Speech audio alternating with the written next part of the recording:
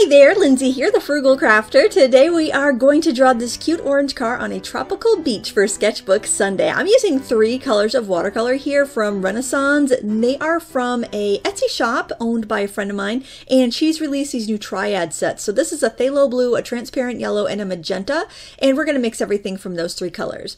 I'm starting off by sketching with an orange Col-Erase pencil, and I'm sketching pretty lightly because I want to make sure that um, I can erase if I need to. I usually don't. I usually like to have some of the pencil lines there, but um, I, I enjoy using that uh, because it's kind of fun to see that colored lead, I think. Just something different than regular graphite.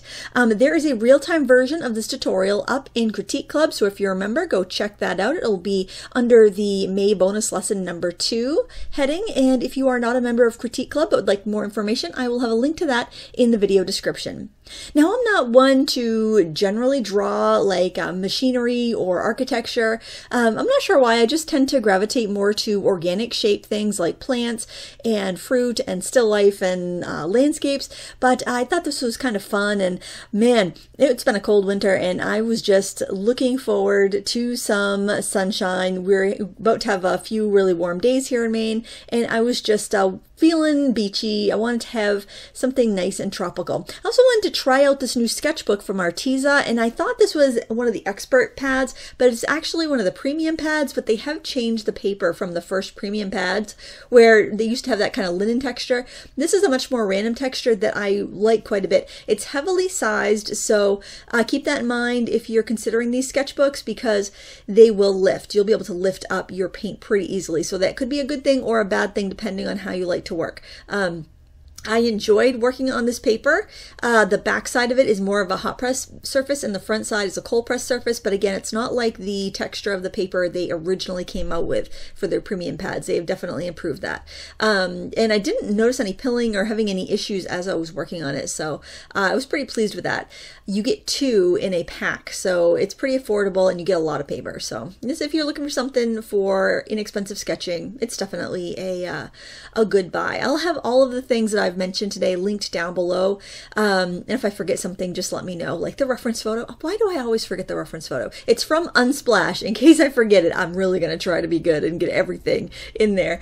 Um, but it is from Unsplash in case I forget it. Now, mixing neutrals was kind of a challenge with this triad of colors uh, because the colors were so vibrant. But mixing all three of your primaries in the right proportion, I started with yellow, then added red because it's mostly an orangey tone. When browns are like desaturated oranges. And then I added added a little blue just to kick down or desaturate the orange color. And for the shadows, I used more of purpley tones, so that would be the magenta plus the blue. And um, you just got to balance your colors. It's a great exercise in color mixing. I used the phthalo blue um, diluted in the sky, and I used it diluted in the water as well, but a little bit stronger.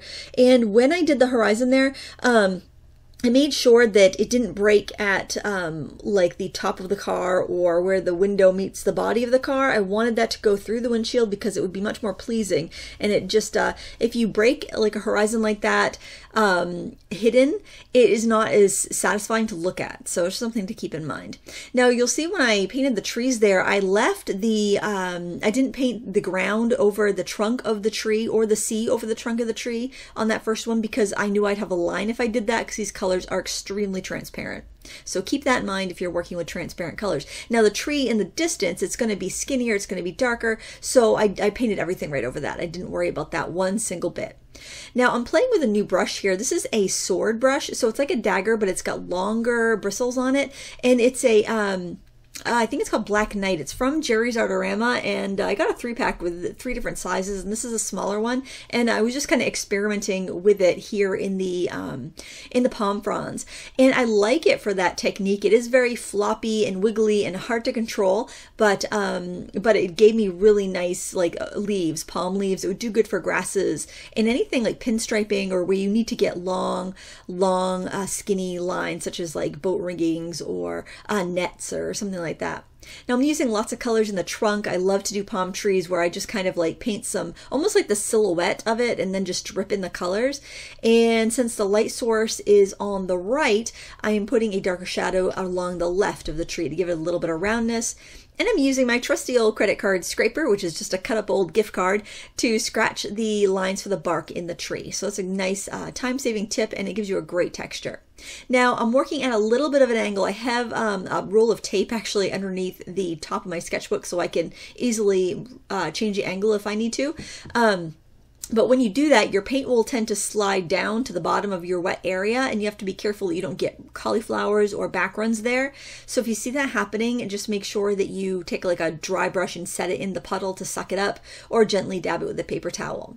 I'm using a paper towel to lift a highlight out on the right side of the tree. That's the side the light is hitting. And I did that while the paint was still wet. So um, it just saves me the scrubbing. You could, like if it if it dried on you, you could always scrub it out. Now the faraway tree I'm doing darker because it would appear to be a little bit more in silhouette. You'd see some color, but not as um, not as light and bright as you would see the closer tree. And that's just going to give the scene a little bit of scale.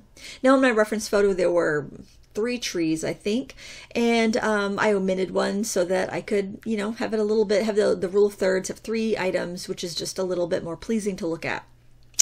And the technique for the palm fronds is just about the same as the other one, just kind of um, painted it, dripped in color, and let it do its thing. That's one of my favorite ways to paint something like that that's organic, especially far away. I don't want to put a lot of detail in it, and I want the paint to show off its beauty and um, just be kind of flowy and free. Oh, I know I needed some like uh, I needed some shadows and things in the tree that was closer to us in the palm fronds. I started to put some in and I scraped some in, but I wasn't quite happy with it. So at this point, I'm just letting that dry, and I'll come back to it later. Now for the the orange car, I first went in with some yellowy color for the highlights. Then I mixed in a little magenta, and I went in and added darker areas. And basically, my goal here is to fill in the car's paint and get um, get an all over coverage. So it's not going to be perfect yet, but I just want to get that kind of all over coverage and assign some of the highlights, the darks, and the midtones while I'm at it. Now, as you can see, there the car's a little wonky. it looks like uh, that, that was somebody's first car on the assembly line, I think. somebody's first day on the job. It's a little crooked, but um, but that's all right. It's uh it's retro. It's a retro car, retro orange car on the beach. I always wanted to have like a, a yellow convertible roadster. I thought that would be so fun. That's my that's my midlife crisis car. I think when the kids go off to college. Yep, yellow roadster. One of the ones that looks like it's smiling at you. Yep. I'm planning the midlife crisis, guys. All right, now I am mixing up some darker color. Again, I use a three primaries, but heavier with the blue and the red. And I'm going in and I'm kind of going around some of the coconuts, strengthening that shadow on the left. And um, I just kind of painted a few slices to represent the fronds. And I'm going in and doing the darker details on the car, the numbers on the license plates, the steering wheel, interior parts of the car that you can see, like the rearview mirror, and little details like that. And I'm dragging out some of that dark color in the tree because I thought it looked a little harsh. Um, and just kind of tweaking around as I go. And uh, at this stage, I just tend to skip around an awful lot. I thought maybe I would scrub out a little more highlight because I, I, knew that that paint was, uh, the paper was really easy to lift on and I was able to pull out my highlights really well that way. Now you could always use a colored pencil uh, or some gouache if you want to, but try lifting first because your paper might respond really well to it. Some papers do, some papers don't. Um, generally, the more sizing that's in your paper, the better it's going to lift. Now this, you can see it almost lifted too well and it was way too bright under that car after I did that lifting. Um, and so you know just definitely go easy. It's it's very very easy to lift on this paper. Now the uh, brush i like to use for lifting is a filbert and it's a, a taklon filbert. So it just uh, has just the right amount of push for it.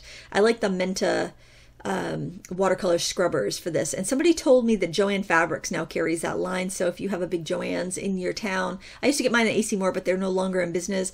Um, I think they're around $5 a brush. Definitely a, a, good value for inexpensive watercolor brushes. I'll see if I can find them online. I'm not sure, uh, but if I can, I'll link them up.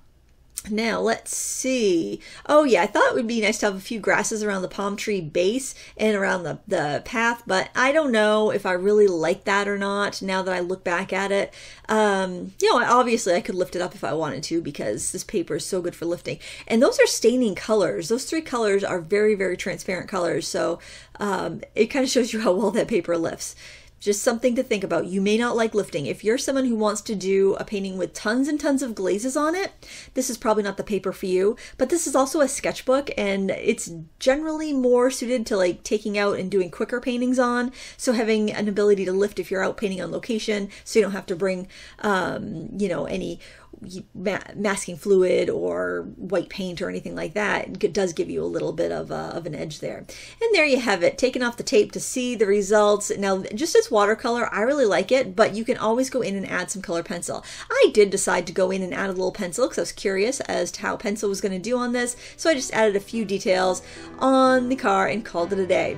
I want to thank you so much for watching. Please give me a thumbs up if you liked it, and if you want to see the full tutorial, you can check it out in Critique Club. There'll be a link in the video description. Thanks for watching. Until next time, happy crafting.